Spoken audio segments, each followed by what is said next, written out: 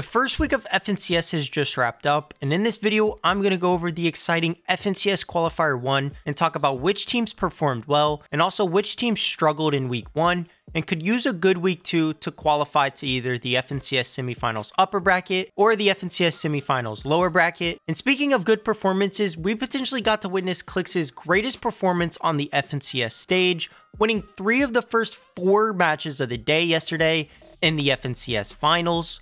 And Clix and Veno absolutely popped off yesterday, winning by over 60 points, and they had the win secured before even going into the last match. And this is actually the second straight season of Clix winning the FNCS Qualifier 1. Last season, he won FNCS Qualifier 1 with Epikwhale when it was top 250 teams in the round 4, and now he wins with Veno in a 50 team finals. So an even better win this season. I want you guys to comment down below. What do you think Clix and Veno are going to get in FNCS as of right now? They look a lot better than they did in the first two Cash Cups, and I could definitely see them doing a lot better in FNCS now, as I'm a lot more comfortable with how they're playing. I still don't really see them winning FNCS, but I definitely think they could get around the top 3 to top 5 range for sure now. We'll see how they keep playing. We have another Cash Cup this week and then FNCS week 2 as well. So we'll see how they keep performing after this insane performance. And then moving on, we have Blaha and Mixon in second place on 232 points. And Blaha and Mixon in just their second tournament on an A get second place in the FNCS Weekly Finals. And people may have forgotten, but this duo actually got fifth place in EU Grands last year. So this is definitely a very, very good duo on an A.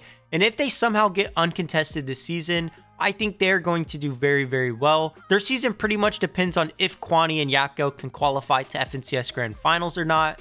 And if they don't, I see Blaha and Mixon doing very, very well in Grands. And then next in third place, we have Noxie and Crisp on 231 points. One point off of getting that second place, but nonetheless, a third place is really solid for Noxie and Crisp. A land duo last year and a team that's also gotten top 10 this year already. So they're looking very good for the FNCS Global Championship qualification as of right now.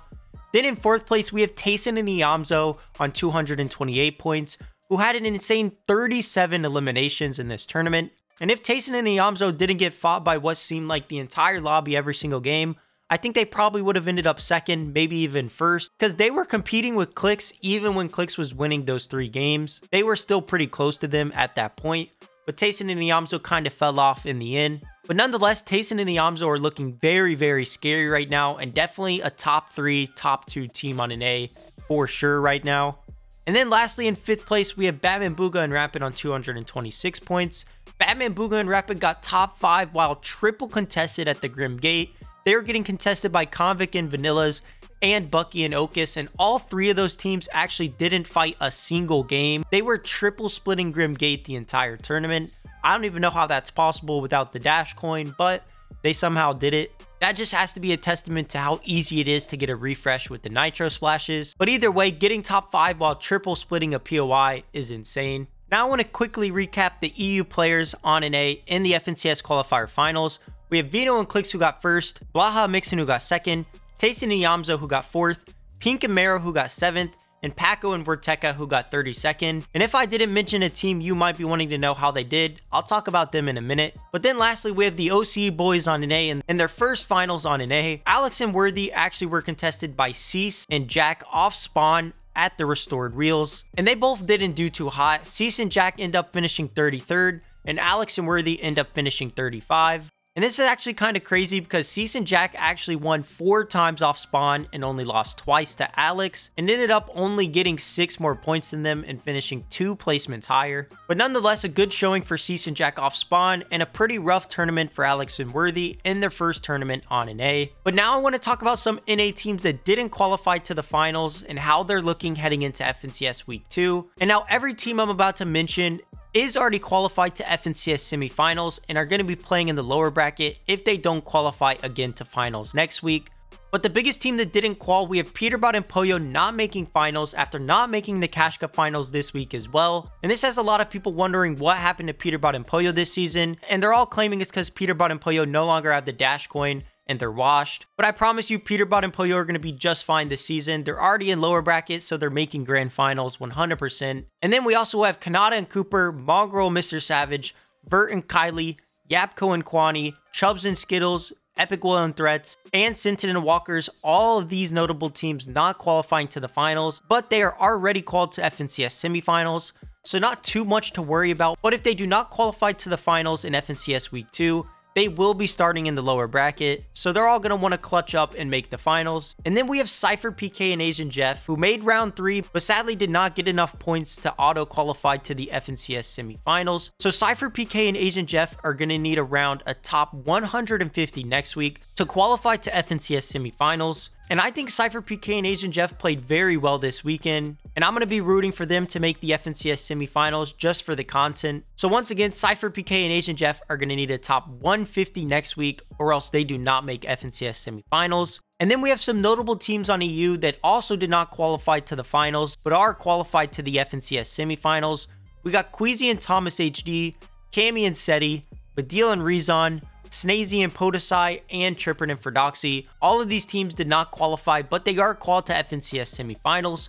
So they're just going to need to make finals next week to help secure the upper bracket call. Overall, I want you guys to give me your biggest surprises from FNCS Week 1 which teams perform better than expected to you, and also which teams underperform to you. Obviously, Peterbot and Pollo are the big main answer on underperforming, but I just think with their drop spot at Redline Rig, it is kind of easy to die off spawn a lot, and hopefully Peterbot and Pollo do lock in next week to kind of silence some of these doubters and perform well in the finals. Peterbot and Pollo are definitely the most disappointing team so far this season. They made one of the Cash Cup finals and got fourth, then didn't qual to the next Cash Cup finals, so I definitely see why there's some concern, but honestly, a lot of people are really overlooking this.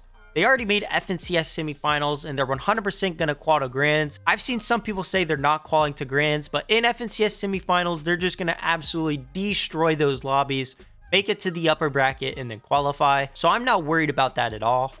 But as always, I want you guys to subscribe to the channel if you guys are new or if you're a returning viewer. I know a lot of you aren't subscribed to watch my videos, and it would mean a lot if you did subscribe to the channel and turn those noties on to always be up to date on tournament recaps and other Fortnite competitive news. If you guys stop by the streams on either Twitch or YouTube, yes, I'm actually streaming on YouTube if you guys want to start tuning in. I'm going to try to multi-stream pretty much every single tournament I watch, whether that's an Opens or finals of a Cash Cup or FNCS. Mainly in A though, because I don't really stream EU because it's a little bit too early for me. But if you guys want to stop by either of those streams, it's the same name, Fortnite Comp Report on either one. And that would be amazing if you guys wanted to tune in. And if you guys were watching YouTube this weekend, I'm sorry I did not stream the finals. I was actually having some internet issues yesterday, so I could actually only stream on Twitch last night. So I'm sorry about that, but I am going to be streaming this week again on YouTube. But if you guys enjoyed this video, make sure to drop a like as it would help it get pushed out to more people. FNCS week one was really good, and I can't wait for FNCS week two. Even with this insanely hectic Nitro only meta, where everyone's just running through boxes, it's honestly super fun to watch. And with the hype on NA this season, NA super fun to watch as well. But that's going to do it for me in this video, guys. Thank you all for watching, and I will see you next time.